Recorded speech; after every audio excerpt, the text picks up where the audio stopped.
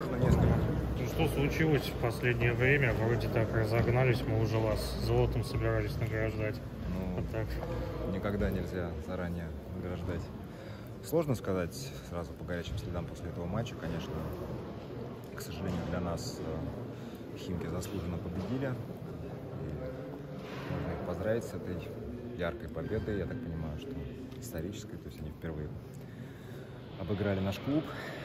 Ну, а причины будем разбираться, конечно, очень много ошибок, к сожалению, невынужденных. Футбол не прощает. Особенно понятно, что сейчас все команды, которые даже находясь внизу таблицы, но дают бой, и как правильно было сказано, что сейчас для них это, по сути, каждый матч это финал. Ну, а нам нужно над ошибками, подумать, и тем не менее борьба впереди. Ни в коем случае нельзя сейчас а, предаваться какому-то нынию и футболистам, и тренерскому штабу. Ну, это не наблюдается, но тем не менее понятно, что после двух таких осечек настроение не из. Роман Юрьевич, Уже отвыкли от поражений. Понятно, что за длительный период достаточно. С осени прошлого года первое поражение и болезненное очень. Но это футбол, поэтому нужно держать удар и готовиться к следующему матчу. Роман Юрьевич, за что теперь ЦСКА борется? Потому что вот Карпин говорил про то, что есть только первое место, а все остальное это там максимум строчка в Википедии и выживание. Вот за что теперь ЦСКА борется? Я не соглашусь э, с. Ну, как? Во-первых, э, Еврокубки, которые еще все-таки мы держим в уме, и понятно, что второе, третье место это гораздо лучше, чем пятое, шестое и так далее. Но, во-вторых, надо, как я уже говорил, просто ставить задачу побеждать в каждом матче и в конце уже смотреть на турнирную таблицу. Поэтому мы боремся за то, чтобы быть выше в турнирной таблице, за нашу эмблему, за наших болельщиков, и никаких упаднических настроений. Почему вы все еще верите в Еврокубки? Кажется, что шансов нет. Ну, почему? Ведь все-таки еще не был рассмотрен вопрос по существу, и мы видим, я вот вчера прочитал новость, что, по-моему, если не ошибаюсь, саночники добились того, что их вернули в международные соревнования, то есть уже прецедент, молодцы ребята. там промежуточное такое решение достаточно. Что значит промежуточное? Ну там, насколько понимаю, они нарушение процедуры зафиксировали, просто А, исключить. То есть там еще будут суды Ну, какие-то. возможно, я просто видел новость, не Мгм. вникал. Но, тем не менее, надо отстаивать свои права, и все-таки у меня есть надежда, что нам разрешат участие в Еврокубках.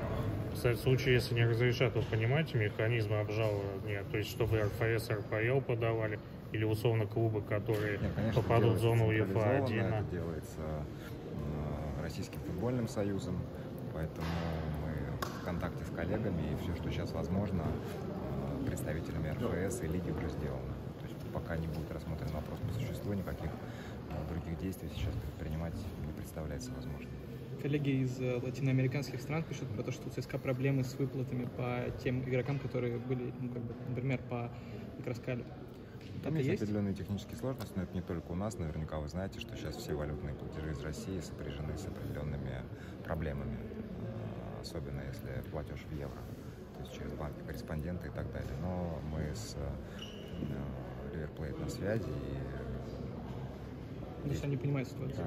да, да. Какая сейчас Следующие сделки в рублях будете? Санкции. Вот тогда вы говорили, что юристы ведут работу, сейчас какой? м, Опре- последний? Определенно определенный алгоритм, э, и э, думаю, что уже со следующей недели мы приступим к его реализации. Там тоже достаточно все непросто, потому что э, необходимо было выбрать наиболее правильную форму, и э, надеюсь, нам это удалось. Поэтому в течение месяца Идете санкций, да? ну, ну, это оптимистичный срок, пессимистичный, думаю, там полтора-два. Что касается продления русских игроков, они как-то у вас на паузе пока или что? Вы кого имеете в виду? Ну, вот вы говорили про Ахметова, Кенфеева. А Кенфеев продал, можно сказать? Или Ну, мы договорились с ним. Нас есть, опять же, понимание, и э, в случае с Игорем э, это не та ситуация, когда вот пока на бумаге не появится подпись, э, нельзя говорить о том, что стороны пришли к соглашению. Просто, опять же, по понятным причинам сейчас всем, и экономическим в том числе, достаточно сложно понять, как нужно вот финансовые условия обуславливать, опять же, привязка к валюте, как это было раньше, или без привязки. Поэтому просто взяли небольшую паузу. Вот мы видим, как тот же курс рубля меняется существенно э, за- за достаточно короткий срок. Поэтому необходимо учесть все эти нюансы, и когда ситуация стабилизируется, нужно договориться на понятных условиях. То есть пока по всем российским игрокам на паузе. Да. Переговоры по контракту, Ну, опять же, со всеми есть понимание, то есть я уверен, что не будет никаких сложностей.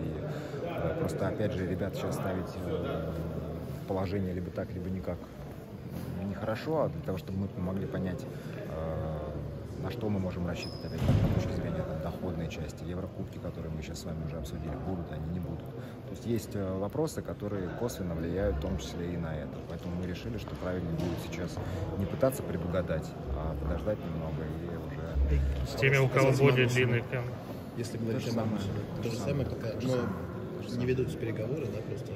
Нет, они ведутся. То есть мы просто взяли паузу определенную до, как я уже сказал, стабилизации ситуации. Игроки, которые ну, под вопросом сейчас контракта не понимают то, что в случае того, что не будет Еврокубки, да и в целом экономической ситуации, не понимают, что им придется падать? Что это как бы ждет весь русский футбол? Ну, думаю, что наверняка это все понимают, но это не только футболистов касается, это, наверное, всех касается футболистов в первую очередь, э, просто потому что у них, как правило, зарплаты были привязаны к валюте, и, э, естественно, если мы лишаемся таких существенных источников дохода, то понятно, что это не может э, не влиять на все остальные Вот мы видим то, что есть «Зенит», который уже сейчас продлевает российских игроков. Вас это не удивляет? Зенит, я не могу говорить за «Зенит», наверное, у них другие критерии, мне сложно сказать. Что они что-то знают? Не думаю. Ну, просто, может быть, у них просто более э, четкое понимание по бюджету, по формированию этого бюджета. На следующей неделе будет первое заседание рабочей группы по исполкому формата. Вы не удивлены, что там нет одного представителя клуба? А есть только Я, честно говоря, вчера об этом узнал из прессы, и достаточно сложно мне либо что-либо прокомментировать. Не знаю, о чем там собираются говорить. Были, конечно, разговоры, что мы будем делать в случае неучастия в Еврокубках и э, сборная, если не будет допущена до международных соревнований. Очевидно, что нужно заполнять чем-то вот эти паузы, но до конкретики пока не- дело не доходило.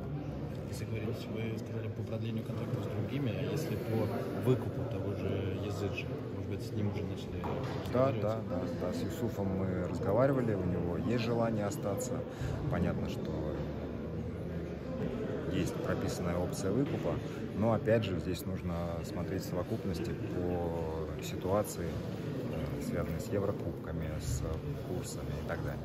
То есть пока есть предварительная договоренность, что обе стороны заинтересованы в продолжении сотрудничества. И со стороны футболиста, и со стороны Я правильно понимаю, что ждете конца мая, что... Ну, может быть, чуть пораньше, хочется верить, что чуть пораньше наступит конгресс, Конгресса и ясно. В том числе, в том числе. То есть, конечно, очень существенно влияет на ситуацию участия или неучастия в Еврокубках. Если, случае если не участвуем, то какой, ваш конечно, нам формат нужно- а, и состав участников оптимальный? Э, Я говорил э, и до этого, мне кажется интересная идея с плей-офф. То есть я считаю, что тех чемпионатах, где она практиковалась, были очень хорошие показатели и по посещаемости, и по смотрибельности, и по интересу со стороны спонсоров. Если мы вспомним переходный сезон, если не ошибаюсь, 11-12 годов, когда мы переходили на систему осень-весна, и вот этот третий круг, когда команды боролись за еврокубковые места, на мой взгляд, получился одним из самых интересных. И думаю, что здесь не нужно изобретать велосипед, то есть по такой же системе. Два круга все играют друг с другом, дальше делятся на две части и уже разыгрывают соответствующие места своих подруг. ЦСКА по-прежнему категорически против возвращения к весна-осени. Мы не видим в этом никакого смысла. То есть мы просто поменяем наименование, а для чего. То есть суть не поменяется. Мы все Ну, равно в будем- декабре не будете играть в Ну, чемпионат. это если без Еврокубков. А если мы с Еврокубками, то мы так и так будем вынуждены играть в декабре. Роман Юрьевич, как уместить вот тот формат, который вы предложили в рамках одного сезона? Потому что тогда же это было полуторагодично. Да, но я же подчеркнул, что это в случае, если мы не участвуем в Еврокубках. Но все равно там И- же не так прям много окон, Ну, что очень достаточно большое количество окон появляется, и думаю, что можно будет играть э, в том числе в середине недели. То есть это позволяет календарь, тем более помните, когда вот была презентация э, голландцев в прошлом году, Юпитер 16, если не ошибаюсь, он назывался. То есть они там как раз просчитали даже с, учет- с учетом Еврокубков. А если их не будет, то э, упрощается задача по э, разработке такого календаря. Как вы относитесь к идее третьего турнира, аналога английской кубка лиги? У нас был в свое время такой турнир. Ну, один год, по-моему. Один год, да. Сложно сказать. Мне кажется, здесь в первую очередь нужно с точки зрения интереса болельщицкого, интереса спонсорского к таким турнирам. То есть э, не просто же задача во что-то сыграть в период, когда появляются свободные окна, а чтобы это был действительно интересный турнир, чтобы была высокая мотивация участников турнира. И как мне, опять же, кажется, что как раз вот плей-офф, он э, э, все эти задачи решает. А плей-офф в виду 16, а играть в два круга или 18? Ну, количество мне сложно сказать, потому что много ведь сейчас в последнее время разговоров, кто-то говорит 20 команд, кто-то говорит 18 команд, а суть не меняется. То есть если это 16 команд, то две восьмерки, которые дальше уже разыгрывают Как вы оцениваете вероятность риска того, что контракты, что российские клубы потеряют права на игроков? Если FIFA пойдет дальше и... Я думаю, что они минимальные, потому что ну, это будет уже абсолютно беспрецедентное, очень опасное решение, м, по сути, которое не имеет э, уже, что называется, возможности для да, для отката, для обжалования, потому что, ну, например, с Еврокубками, то есть там можно вот сейчас там пытаться обжаловать, а если же они разрешат э, то, о чем вы говорите, то потом, э, даже если теоретически э, будет удовлетворена та или иная апелляция, возникает очень много сложностей, потому что новый клуб уже подписал контракт с этим игроком, он уже сыграл, и там, допустим, забил какие-то там мячи решающие, не решающие, неважно. И как быть со всем этим? То есть защита, Ну, техническое поражение. Ну, то есть это уже это точка невозврата, и поэтому думаю, что FIFA не пойдет на этот шаг. Возвращаясь к вашим игрокам, вот э, те, у кого сейчас не истекают контракты на более длинных контрактах, могут начаться разговоры, переговоры о понижении, если все ну, в пессимистичном На направлении данный пойдет. момент нет, мы выплачиваем в полном объеме зарплату. Опять же, исходим из того, что, как я уже говорил, ситуация стабилизируется и мы сможем э, обеспечить доходную часть бюджета, поэтому в ближайшей перспективе пока речь об этом не идет. Мы видим, что некоторые клубы сейчас продавали футболистов, ну, там, допустим, Спартак Аэр, потому что они понимают, что есть риски. Вот у вас не было таких предложений или попыток кого-то сейчас продать, чтобы хотя бы обезопасить себя? Нет, э, потому что, как я уже сказал, я оцениваю достаточно невысоко вот этот риск, что FIFA пойдет на такой беспрецедентный шаг. Возможно, что будет продлен срок вот этого временного приостановления контрактов и права игроков покинуть российские клубы, но не думаю, что они все-таки примут решение о том, что окончательно могут футболисты перейти без каких-либо компенсаций для российских клубов. Говорят про FIFA и UEFA. Вот э, верите ли в то, что FIFA и UEFA могут э, исключить РФС Ну, мы видим, что FIFA уже отказался от этого шага. И э, думаю, что не, не изменится это решение. Потому что, как мне кажется, уже потихонечку вот эта истерия, она, хочется верить, э, успокаивается и э, не дойдет до того, чтобы уже сжигать мосты и окончательно сталкивать по национальному признаку нашу страну со всей остальной Европой и со всем остальным миром.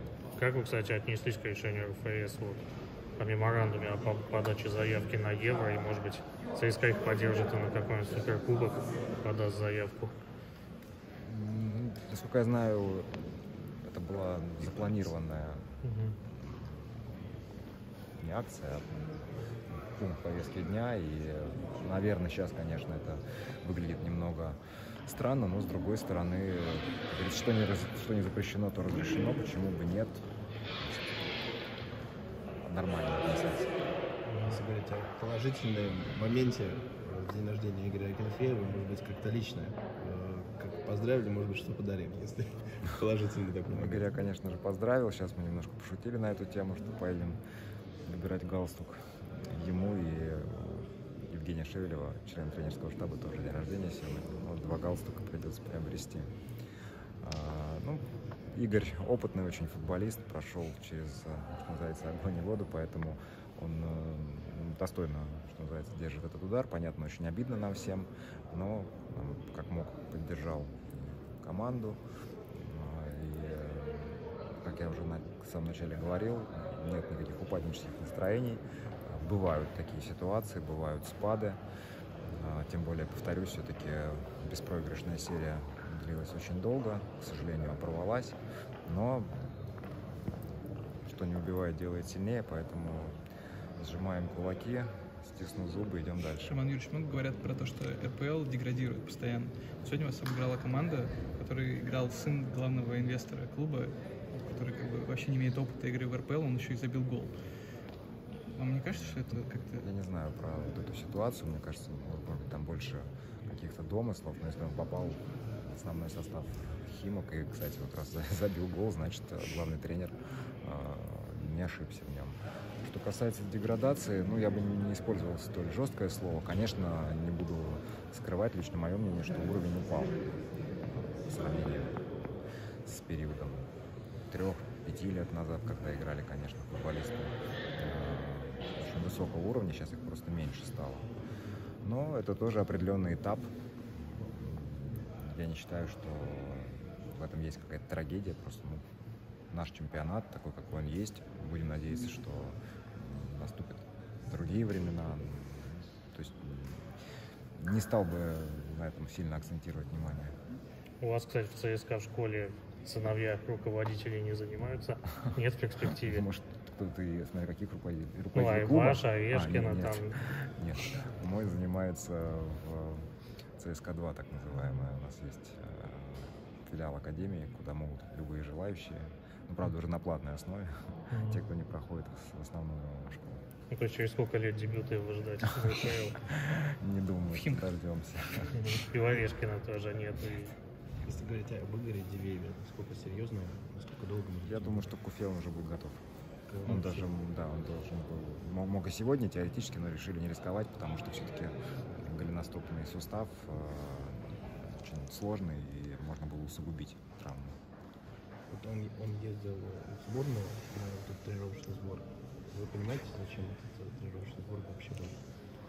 Ну, как, я считаю, что нужно вот в сложные времена руководствоваться принципом «делай, что должен, будь, что будет». То есть все равно для игроков было важно э, почувствовать, что сборная продолжает свою жизнедеятельность, э, встретиться с тренерским штабом э, национальной команды. Поэтому я думаю, что это было правильное решение. Да, к сожалению, не удалось хороший спарринг организовать, ну, по понятным, опять же, причинам.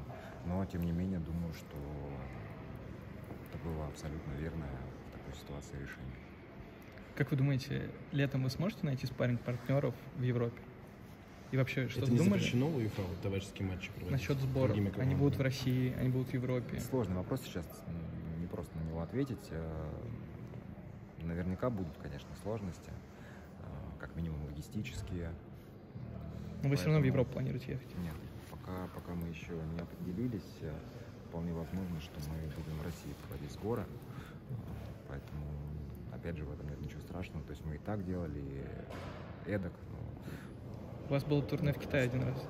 Ну, немножко другая история. Это был первый коммерческий турнир российской команды в Китае. Это Какой интересный опыт, но непростой для команды оказался. Если сейчас вам предложат что-то такое там, в арабские страны или... Посмотрим, посмотрим, почему нет. Ну, товарищеские матчи вот сейчас при действии таких санкций, они разрешены клубам российским вот, с другими европейскими или другими клубами вообще под э, УЕФА? Формально они не запрещены, то есть нас же отстранили только от Еврокубков, а не от товарищеских игр. Но мы найдем с кем сыграть, тем более, что в последнее время мы с российскими командами спарингуемся достаточно э, успешно и для них, и для нас в перерывах, поэтому это не является какой-то сверхпроблемой. Спасибо большое. До свидания.